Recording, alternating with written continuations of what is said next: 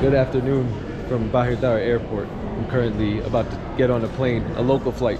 Uh, my first time taking a local flight in Ethiopia. We actually got to Bahir Dar by taking a bus, but this is what the airport looks like.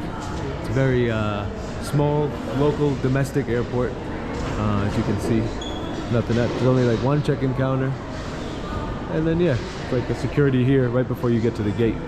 So I'm headed back to Addis Ababa, and then we're out of Ethiopia after a few days.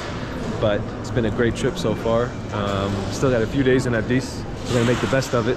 But I wanted to show you guys what the local flight looks like. Uh, I've also, like I said, never taken myself, so I'm kind of curious, and then I'll show you guys as well.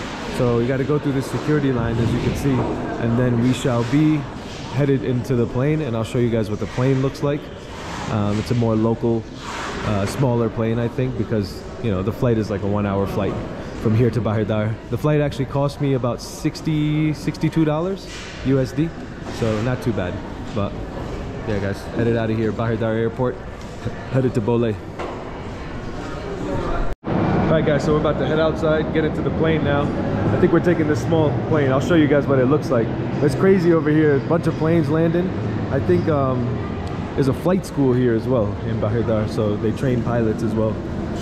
But interesting plane. I've never taken one of those. Looks like an older, older Boeing or something. I don't know, but about to get on soon, and I'll show you guys what it looks like. But this is the waiting area in Bahir Dar Airport.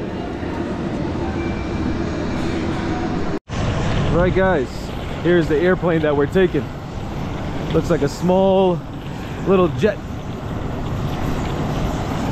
I don't think I've ever taken one of these before. Very interesting.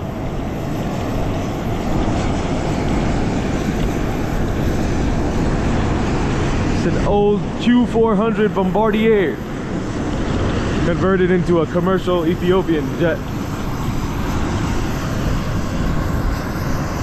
See all these smaller planes here. You can see people, uh, it's actually flight training. Ethiopian Airlines has their own program where they train pilots that eventually end up working for their company. But it's really cool. But a very small runway, guys. Such a small airport. One of the smallest airports I've ever been to. We're gonna get on the airplane now. And I'll show you guys what the uh, airplane looks like from the inside. It's one of those planes that has like the propeller jets, exposed propeller jets.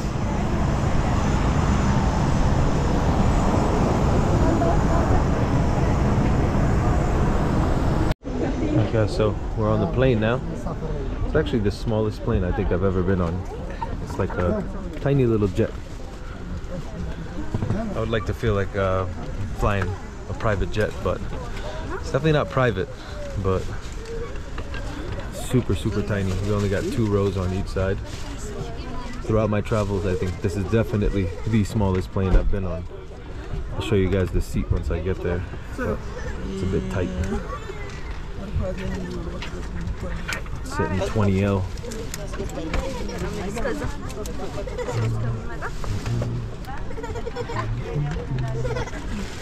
Sorry. Alright, so 16, 17, 18, 19, 20. Guys, I just tried to put my luggage in the overhead. And It is not fitting. So I think I'm gonna have to check it in. And uh, for now, I'm just waiting. You can't see it to that. Huh? You can't see it until you set it. Yeah, I have to.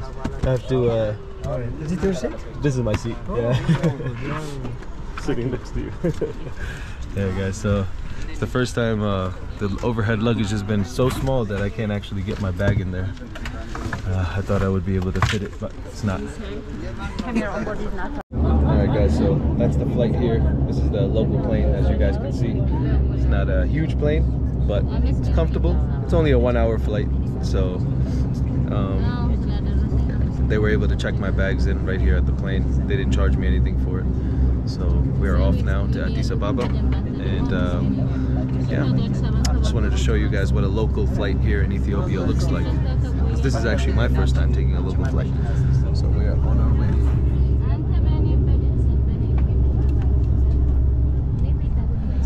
Remember guys, continue to learn, continue to grow, and there is no growth until you leave your comfort zone. And I'll see you guys on the next one. Peace out.